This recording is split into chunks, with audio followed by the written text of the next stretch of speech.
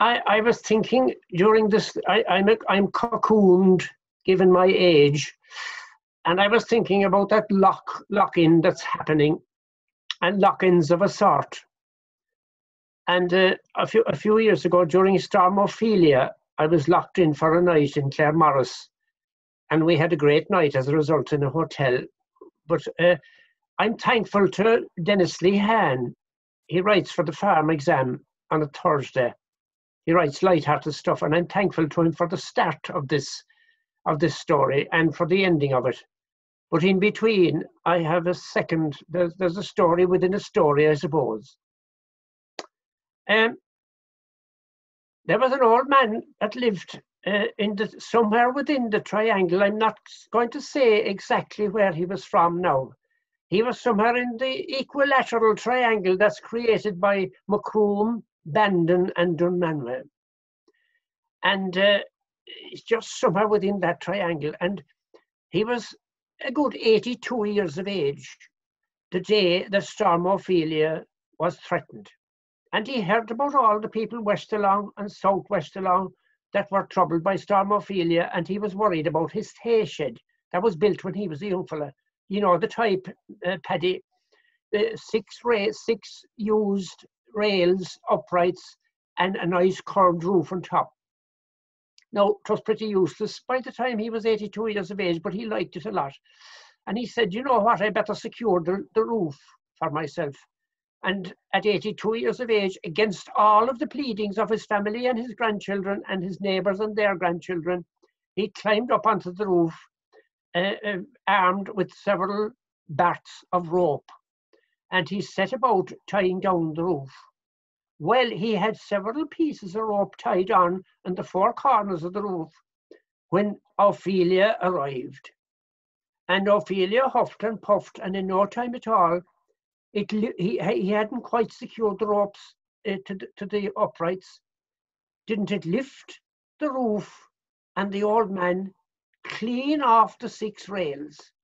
Well, I'm telling you, that was a bit of a shock for the 82 year old old man. But he, you know what he did?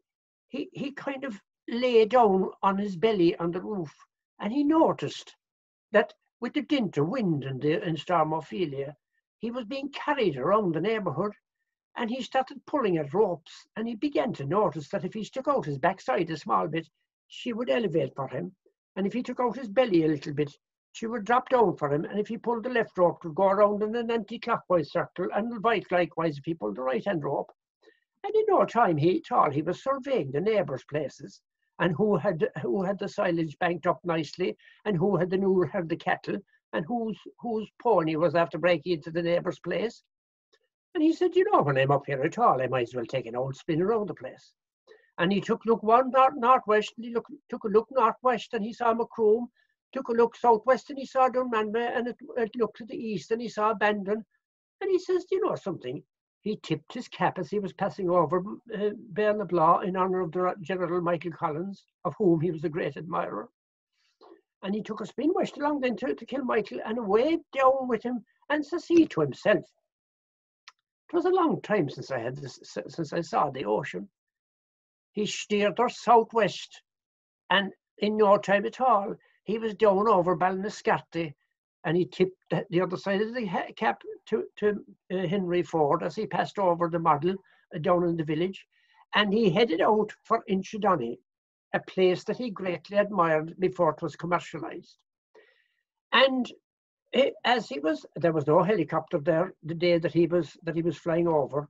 Now Storm Ophelia was blowing fairly hard at the time, and you know it crossed his mind. Wasn't this where the American bomber landed in 1943?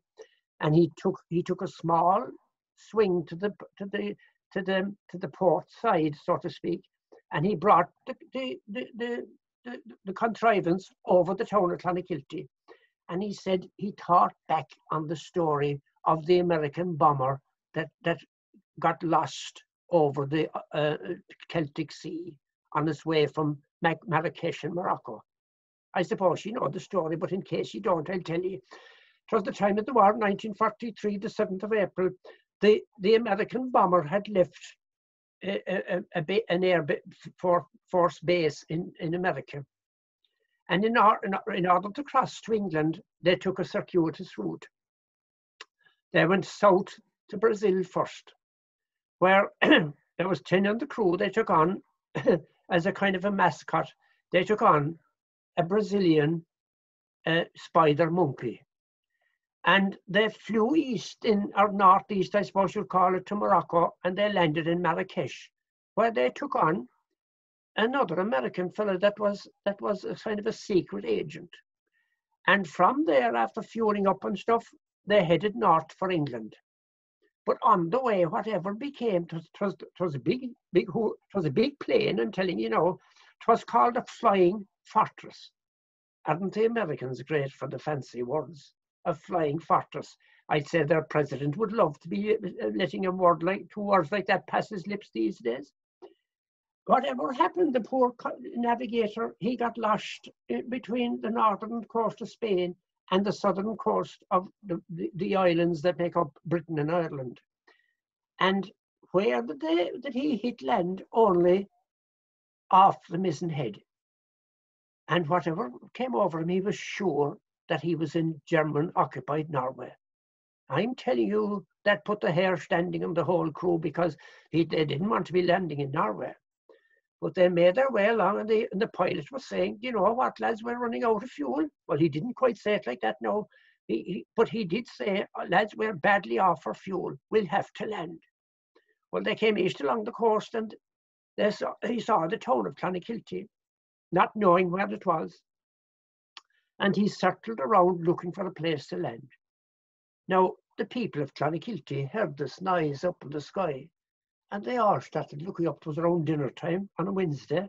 They all started, it was half day in Clonakilty. They all started looking up at this thing going around and around and around the town.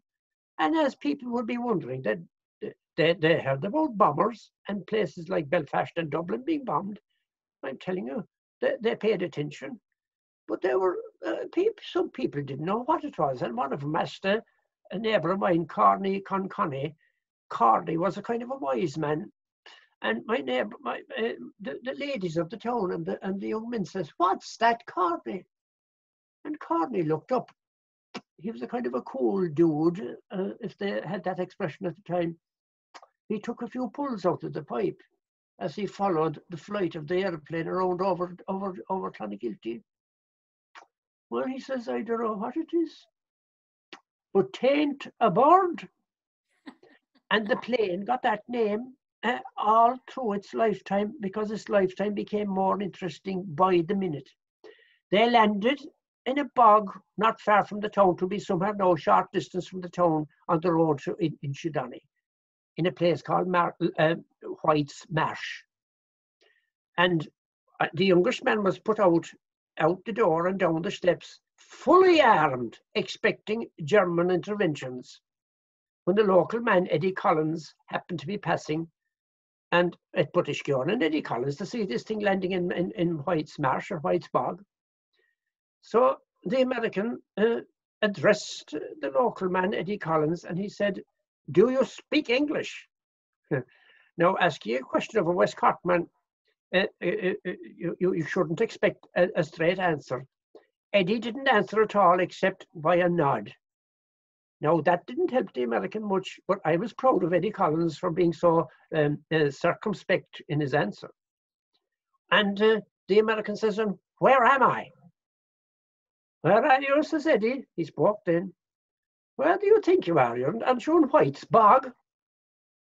Well, it, it calmed things a little bit, and the Americans realized that they were in an English speaking area that was not German occupied in any case. They were arrested in no time at all by the Defence Forces and they were incarcerated, so to speak, in O'Donovan's Hotel in Clonakilty. Now, I forgot to tell you that along the way in, in, in Brazil, they took on a sort of a mascot, and a Brazilian um, monkey, a spider monkey, and he was their mascot all the way. But and he was brought into Clonakilty with them. Well, they were regaled and, and they enjoyed three or four days in Clonakilty like they never had in their lives before. And didn't the poor crater of a monkey, he expired, he died.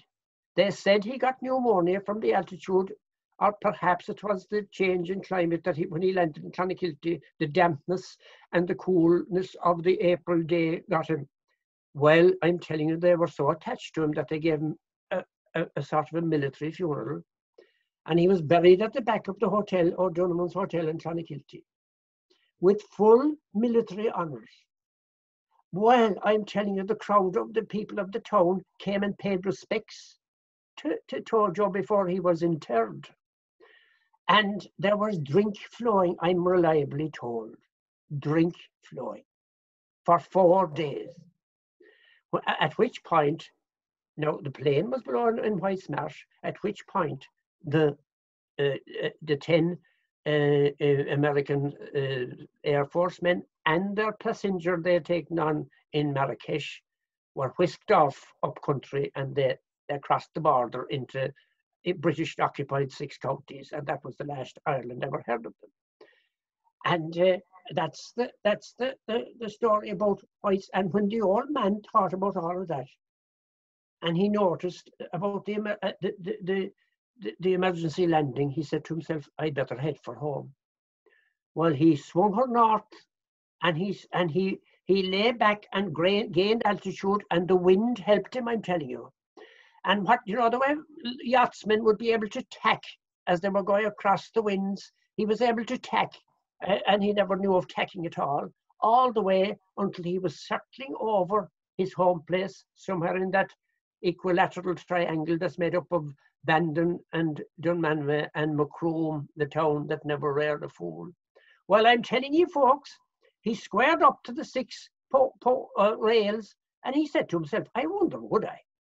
and between sticking out his backside and pushing out his belly and pulling the right rope and the left rope, didn't he land the, the roof of the corrugated iron shed square down on the six rails and it was secured to this very day? Wasn't that some going? Good luck to you now.